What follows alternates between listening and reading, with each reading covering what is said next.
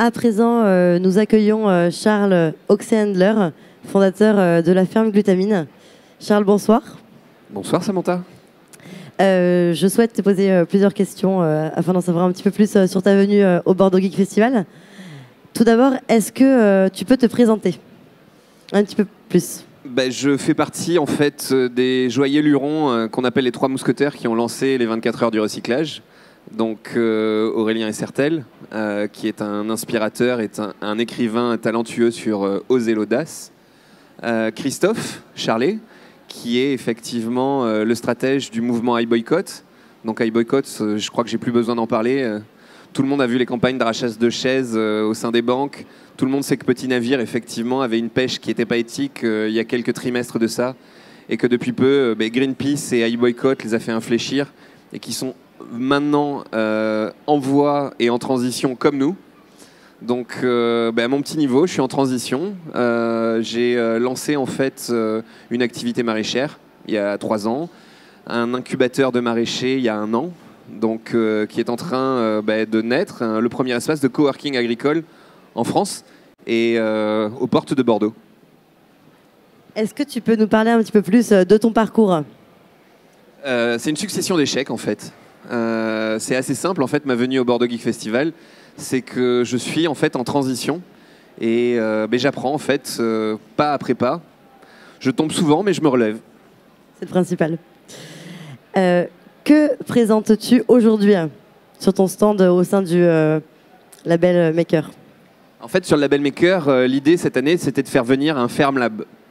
Alors un Ferm Lab, euh, ça peut être étonnant parce qu'on est au milieu de geeks et qui sont tous fascinés par des imprimantes 3D qui finalement impriment des pièces euh, de 10 sur 10, 30 sur 30.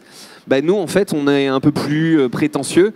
On fait des pièces de 8 mètres euh, sur 4 mètres de haut et euh, 3 mètres de large. Et euh, ben, nos euh, imprimantes 3D, elles impriment des maisons, en fait. Des maisons qui euh, ont vocation à héberger des maraîchers de la façon la plus vertueuse possible, en consommant le moins et en étant le plus résilient possible. Pour toi, aujourd'hui, la culture maker, c'est quoi?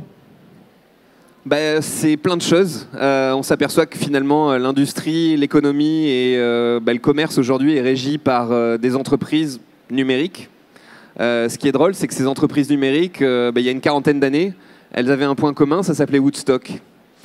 Et euh, que ça soit Microsoft, que ça soit Oracle, que ça soit Apple, les trois PDG de ces trois sociétés étaient à Woodstock et ils ont tous participé à ce mouvement avec ou sans LSD, mais plutôt avec pour certains. Et ce que je ressens ici, c'est que bah, on a les futurs entrepreneurs de la green technology de demain. Euh, ce qui façonnent avec leurs imprimantes 3D, avec leurs costumes, avec euh, cette inspiration, bah, ils sont dans le jeu, ils sont eux aussi dans la transition, tout en s'amusant. Ils font ça avec passion et c'est ce qu'on ressent en fait. Ce qui est fantastique comme atmosphère sur euh, le BGF, c'est que les gens arrivent avec des univers très différents. Il n'y a aucun jugement.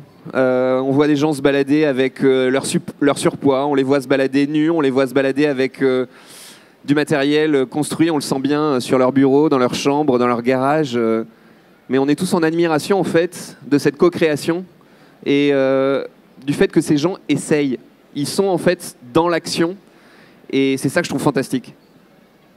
Eh bien, Charles, je te remercie pour cette interview et j'espère que vous passerez tous à un super festival. C'est le cas et euh, on vous invite l'année prochaine à nous rejoindre parce que petit pas, petit pas, petit pas. Merci.